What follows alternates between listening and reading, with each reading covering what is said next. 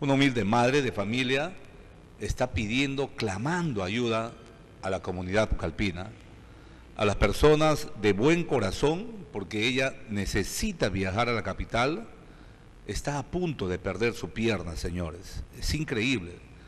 Qué traumático este tema que vive esta señora, esta humilde madre de familia que tiene hijos que cuidar.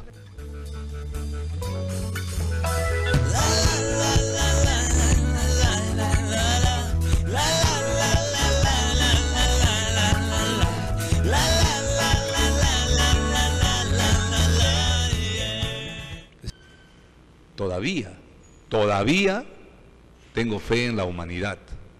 Por eso es que vamos a seguir trabajando en estas obras de bien social. Se ha hecho las coordinaciones y el coronel Juan Silva Bocanera ha dado su respuesta. Lo va a apoyar, va a apoyar a esta señora, va a trasladarse a Lima, va a seguir su tratamiento, va a correr con los gastos.